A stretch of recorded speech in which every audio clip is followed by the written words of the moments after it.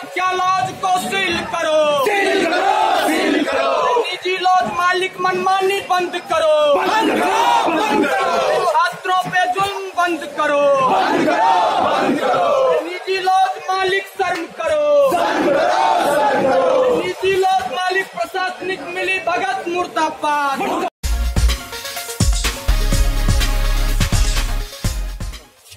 क्या मामला है? क्या क्यों प्रदर्शन कर रहे हैं आप पटना में निजी लॉज और निजी कोचिंग का जो शोषण, जुल्म, अत्याचार और आतंक बढ़ गया है, उसके खिलाफ आज हम लोग यहाँ शांतिपूर्ण तरीके से, लोकतांत्रिक तरीके से हम अपनी मांगों को रखने आए हैं। हमारे एक छोटे भाई जो इस कामाख्या लॉज में रहते थे इस लॉज ओनर के बेटे के द्वारा उसको बुरी तरह से पीटा गया है। और आए दिन पटना में ये घटना आम सी हो गई है। चाहे वो निजी लॉज हो या निजी कोचिंग हो। हमारा एक ही सवाल है, जो भी निजी लॉज है, बिना रजिस्ट्रेशन का किसी को भी सरकार चलाने का इजाज़त नहीं दे।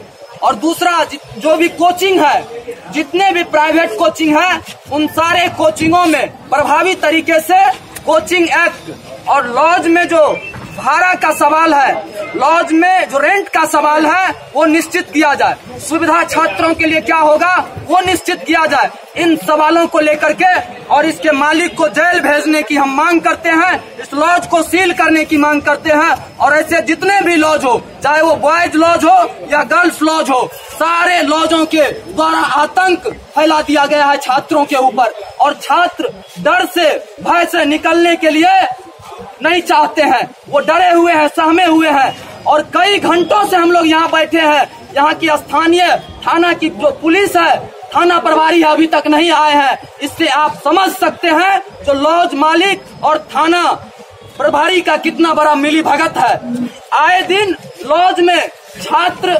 आत्महत्या करने पे मजबूर होता है, सुसाइड करता है और उस केस को दबा दिया जाता है। कई कई ऐसी घटनाएँ हाल के दिनों में घटती आ रही है। सरकार चुप है, यहाँ की प्रशासन चुप है, लेकिन हम लोग चुप नहीं रहेंगे। हम छात्रों से आह्वान करते हैं, अपने हक के लिए तो कम से कम, अपने शोषण के खिलाफ, अपने जुल्म और अत्याचार के खिलाफ तो आवाज़ उठाइए, निकलिए। सिर्फ़ घर में कैद होकर के रहिएगा तो ये जुल्म अत्याचार बढ़ता रहेगा और इसके शिकार आप होइएगा। आपके घर परिवार के सदस्य जो पटना में पढ़ने के लिए आते हैं, वो होंगे। अगर 10 मिनट के अंदर यहाँ प्रशासन नहीं आती है तो हम लोग थाना का जाकर के घेराव करेंगे। यहाँ का जो संबंधित थाना है, बहादुरपुर, हम उसका जाकर के घेराव करेंगे और फिर हम आगे भी उस पदाधिकारी जो है, उसके खिलाफ अपनी मांगों को हम रखेंगे। सर, कुछ दिन पहले सर कुछ दिन पहले ही बोरिंग रोड के डेस्टिनेशन होटल में भी एक मामला सामने आया था। उसमें क्या कुछ कहेंगे? Destination hostel. एक हॉस्टल नहीं है उसको भी हम लोगों ने बंद करवाया है। उसके मालिक को हमने जेल भेजवाया है जो उसमें गलत धंधा किया जाता था।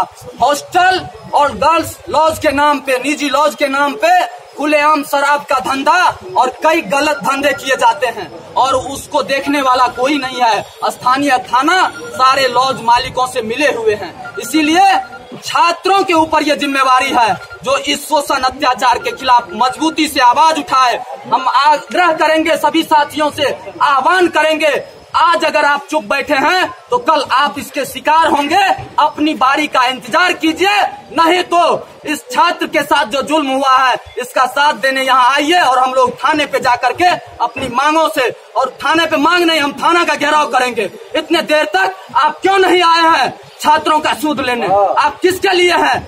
और ज़रूरत पड़ी तो हम डीजीपी से मांग करेंगे, ऐसे निकम्मे थाना प्रभारी को बर्खास्त किया जाए, जो छात्रों के हित हमारे हमारे माननीय डीजीपी महोदय तो हमारे सीनियर रह चुके हैं पटना विश्वविद्यालय में। हम लोग जाएँगे हज़ारों की संख्या में छात्र और डीजीपी महोदय से मांग करेंगे, जो ऐसे निष्क्रिय थाना प्रभारी, जो छात्रों पे जुल्म होता है और थाना पे बैठे रहते हैं, उसके खिलाफ आप सख्त कार्रवाई कीजिए। आप छात्रों के हितैषी है पटना के डीजीपी बिहार के डीजीपी से छात्रों को उम्मीद है हम मीडिया के माध्यम से डीजीपी महोदय से कहेंगे ऐसे थाना प्रभारी पे प्रभारी पे आप सख्त कार्रवाई कीजिए और हम लोग अभी थाना का घेराव करने जाएँगे। छात्र पीटा गया उनका नाम क्या है? सौरभ कुमार नाम है छात्र का और एक ही छात्र नहीं आए दिन हम छात्र संगठन चलाते हैं हमें पता है दिन रात किसी न किसी कोचिंग से किसी न किसी लॉज से किसी न किसी गर्ल्स हॉस्टल से फ़ोन आते रहता है भैया यहाँ हमें मारा जा रहा है यहाँ भाड़ा के लिए हमें भगाया जा रहा है यहाँ को, कोचिंग में पैसे कम है उसके लिए भगाया जा रहा है।